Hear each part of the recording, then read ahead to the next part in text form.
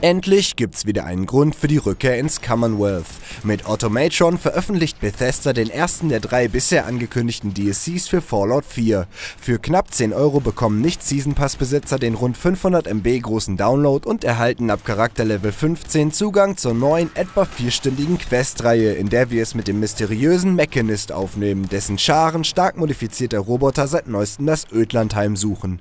Wir verfolgen zunächst den Funknotruf einer überfallenen Karawane und lernen lernen nach dem Kampf die einzige Überlebende kennen. Meine Ich war mir sicher, hier ebenfalls mein Ende zu finden. Robodame Ada, die sich am verantwortlichen Mechanist für den Tod ihrer Freunde rächen will und uns fortan bei der Suche nach dem Bösewicht zur Seite steht. Im Zuge dieser Suche schalten wir in unseren Siedlungen die Roboterwerkbank frei, mit deren Hilfe wir Ada und beliebig viele weitere Robogefährten erschaffen und modifizieren können. Je mehr Bauteile wir unterwegs besiegten Maschinen abnehmen, desto umfangreicher wird unsere Mod-Auswahl. Es lohnt sich hierbei wirklich, frühzeitig auf Sammeljagd zu gehen, denn haben wir unseren neuen Gefährten erst einmal ordentlich ordentlich aufgemotzt, so wird dieser zu einer wahren Killermaschine, die unser Voranschreiten in der Geschichte deutlich beschleunigt, da sie gegen die vergleichsweise starken und resistenten Feinde deutlich mehr austeilen kann als herkömmliche Begleiter. Und das haben wir selbst gebaut. Das Gefühl ist wahnsinnig motivierend. Schauen wir uns zum Beispiel einmal dieses pinke Ungetüm an. Gatling-Laser und explosive Minigun an den Händen, dazu einen Gasgranatenwerfer sowie ein Fatman Mini-Atombombenkatapult auf den Schultern.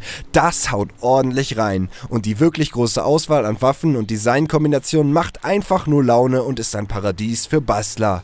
Andere Beine, gar keine Beine, ein paar Klicks machen aus unserer Killermaschine ein Konstrukt mit eher äh, skurrilen Proportionen.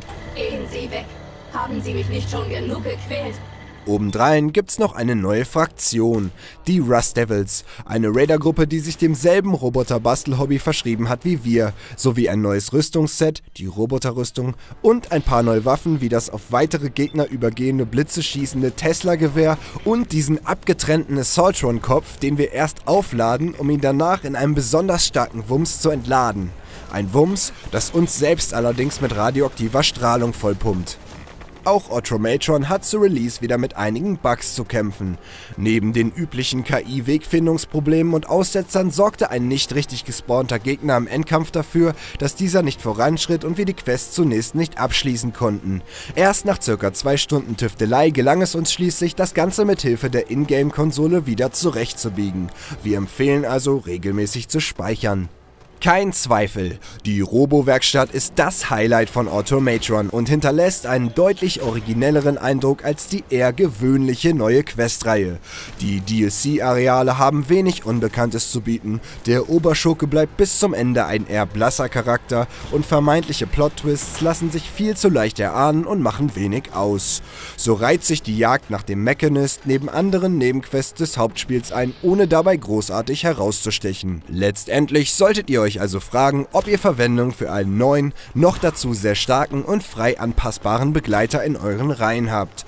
Denn wenn ihr auf die Robobastelei abfahrt und Roboter wie wir allgemein ziemlich cool findet, dann ist Automatron seine 10 Euro in jedem Fall wert. Wenn ihr eher Interesse an einer neuen Quest-Geschichte habt, so seid gewarnt, dass ihr hier nicht viel Neues, sondern einfach mehr vom Alten bekommt. Denn auch wenn der Mechanist sicherlich keiner dieser Antagonisten ist, an die wir uns noch lange zurückerinnern werden, mehr als ein bloßes Tutorial für den Robobaukasten ist die nette Schnitzeljagd nach dem mysteriösen Blechbüchsenträger auf jeden Fall. Und mehr als eine Pferderüstung ist sie definitiv.